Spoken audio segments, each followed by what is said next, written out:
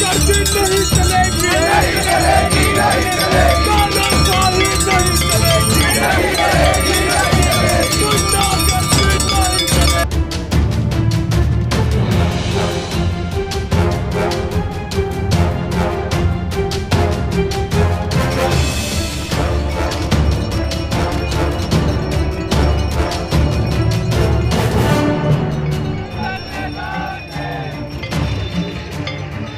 नमस्कार, मैं हूँ आपका दोस्त विनोद शर्मा आज एक बड़ी अपडेट आपके सामने लेकर आया हूँ।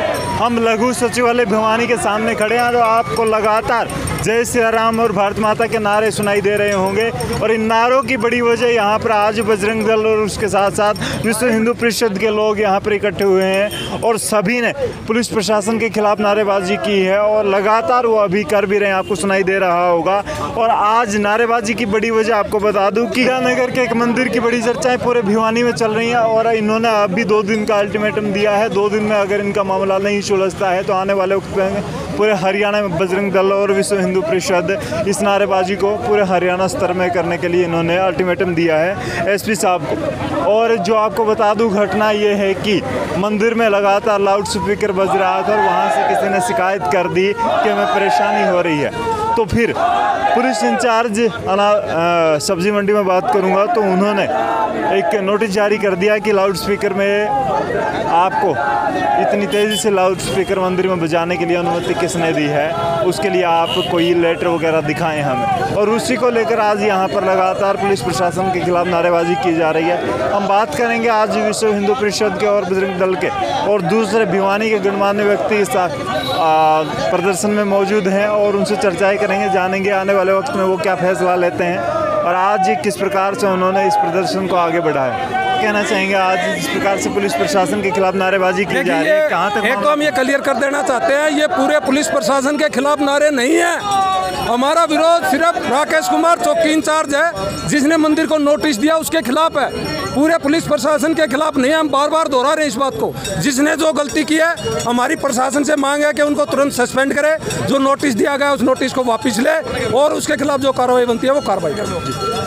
आज लगातार हर चौक पर हनुमान चालीसा का पाठ किया गया हनुमान कथा का पाठ किया गया। तो और क्या करे आज भिवानी का हिंदू मजबूर हो गया है रोड पे घंटी बजाने को क्योंकि मंदिरों में घंटी बजाने के लिए परमिशन मांग ली है। वो परमिशन लाए किससे? वो आज हिंदू के समाज हिंदू का देश है, भिवानी है, हिंदू का शहर है, छोटी काशी है, उसमें हम मंदिरों में घंटी बजाने के लिए किससे परमिशन लेके आए? जो ये तालिबानी फर- फरमान जारी किया है, जो राकेश ने जो फतवा जारी किया है, उसके खिलाफ आज हम रोडों पे घंटी और हनुमान जलसा बजा रहे हैं। अगर हमारे मंदिरों के लिए परमिशन आनी पड़ेगी तो भिवानी का पूरा पूरा भिवानी जनता रोड पे आ जाएगी और रोड पे घंटे बजाएगी और हनुमान चालीसा का पाठ करेगी।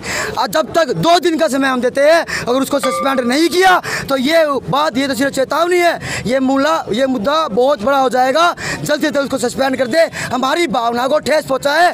आज हिंदुओं के लिए, हिंदुओं के मंदिर के लिए जो उन्होंने ये नोटिस मांगा है, ये कितनी गलत बात है। और एसपी साहब डीएसपी साहब को ये संज्ञान में दी, फिर भी आज पाँच दिन हो गए हैं, उसके खिलाफ कोई कार्रवाई नहीं की है। तो ये हम क्या समझे इस बात को? कि पुलिस प्रशासन गहरी नींद में सोया हुआ है। वो जाग जाए, वो देख ले कि हिंदू जाग गया है। इतना ही कहना चाहूँगा। क्या कहेंगे एसओच साहब से पहले आपकी किसी दल विशेष ने मीटिंग करने की कोशिश की है इस चर्चा को शांति प्रिय सुलझाने के लिए? शांति प्रिय सुलझाने की कोशिश की थी। हमारे अधिकारीगण जो हैं वो विश्व हिंदू परिषद के अधिकारी एसपी साहब और डीएसपी साहब के सामने राकेश कुमार जो इंचार्ज है उनसे सबसे मिले थे लेकिन वहाँ पर भी राकेश कुमार जो इंचार्ज है उन्होंने अभद्र भाषा का प्रयोग किया।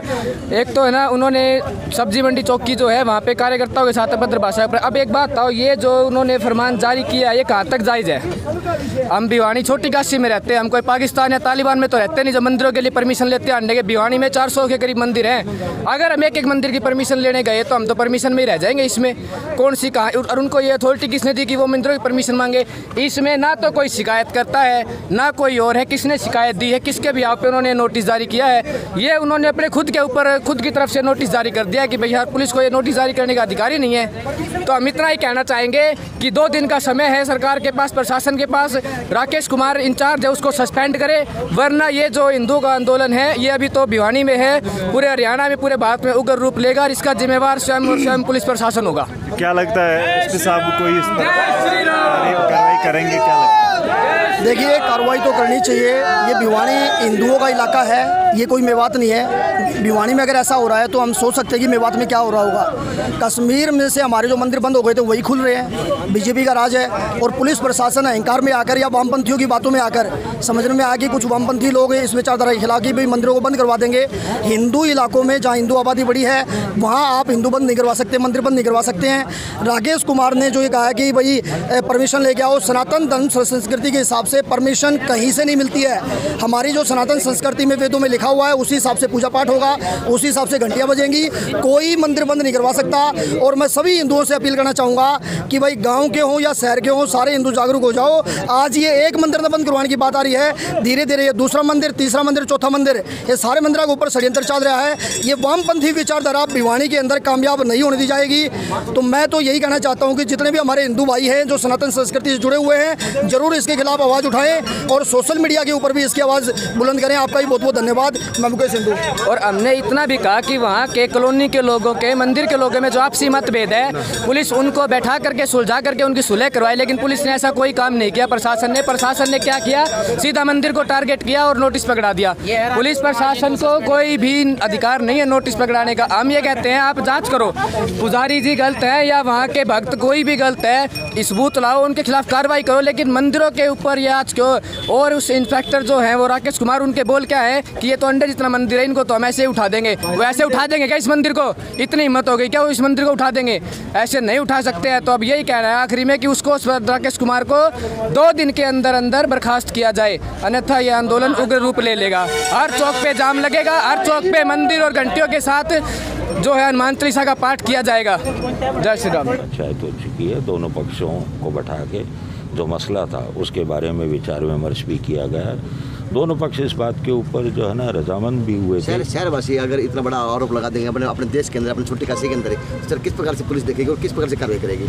आप ये देखिए आरोप कोई भी किसी पर भी लगा सकता है। आप छोटी काशी के ही निवासी हैं। जी।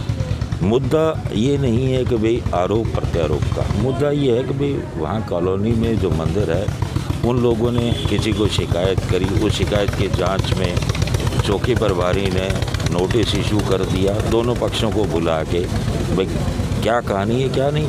अब दोनों पक्षों ने बैठ के थाने में इस बात के ऊपर सुलह की कि भाई, पंद्रह दिन तक दोनों पक्षों की तरफ़ से कार्य कुशलता को देखा जाएगा। अगर किसी का उसमें कोई कमी मिलती है या किसी को एक दूसरे को ठेस पहुंचाई जानी मालूम होती है तो जो भी विश्व हिंदू परिषद के कार्यकर्ता है उन्होंने निर्णय लिया था वे हम दोनों तरफ़ से इस चीज़ को परखेंगे और जैसे भी सूरत होगी पंद्रह दिन बाद में वैसा जो है ना अपना निर्णय सुनाएँगे।